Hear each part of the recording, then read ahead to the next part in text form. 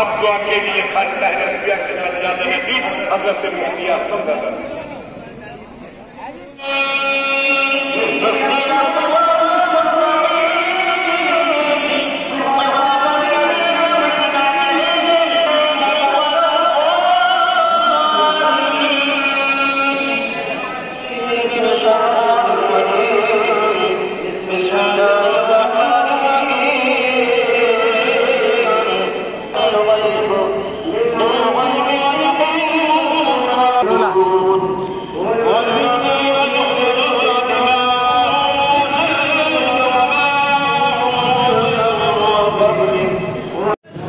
आज जो है आलत के उर्स फाजिल बरेलवी का तीन रोजा उर्स दस सितंबर को इस्लामिया मैदान में शुरू हुआ था।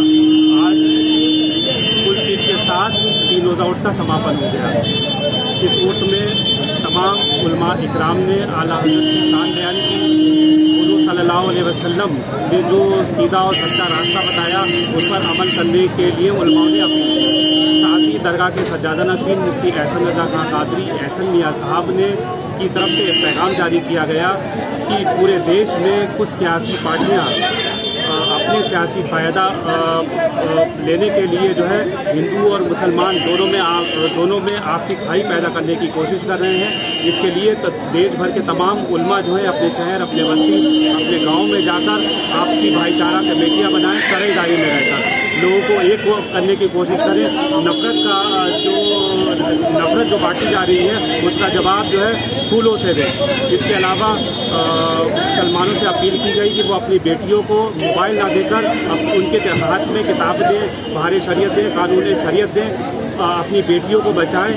इसके अलावा सलमानों में जो फजूल शादियों फजूल खर्ची है, डीजे, बाजा, उसको लेकर भी जो है, अपील की गई। इसके अलावा इमामों से अपील की गई तो ऐसी शादियों में निकालना पड़ा पड़ाएँ जहाँ पर डीजे बजते हों। इसके अलावा जो आने वाला जुलूस मोहम्मदी है, इसमें ज़ोर शोर से डीजे बजते हैं। इस्लाम में डीजे और ये म्यूज़िक वाली नात इसकी मनादी की गई है, आला हज़रत का फतवा भी है।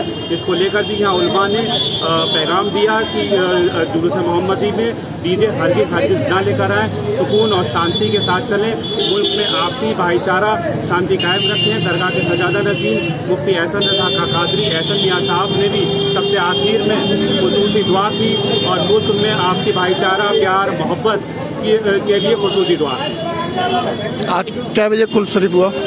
दो बजकर अड़तीस मिनट पर कुल शरीफ की रस्म अदा की गई। जैसे ही दो बजकर अड़तीस मिनट हुए उसी वक्त फिजाओं में कुरान की आयतें गूंजने लगी।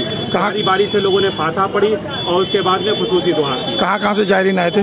पूरे दुनिया भर के तमाम देशों से जायरीन आए थे, जिसमें इंग्लैंड से फारूकुल कादरी साहब आए थे, तंजानिया से आए थे, बांग्लादेश से आए थे, नेपाल से आए थे, ऑस्ट्रेलिया से आए थे, श्रीलंका से आए थे, तमाम लोग जगह से जायरीन आए थे और इसके अलावा मुल्क के कोने कोने से भी जायरीन आए थे। मुल्क कोर्स के समापन के साथ ही देश और दुनिया के तमाम जो जायरीन हैं, उनकी वापसी शुरू हो चुकी है और मैं आपके चैनलों के माध्यम से सभी दुनिया भर के अकीदतमंदों को उससे रजदी की बहुत बहुत मुबारकबाद देता हूँ।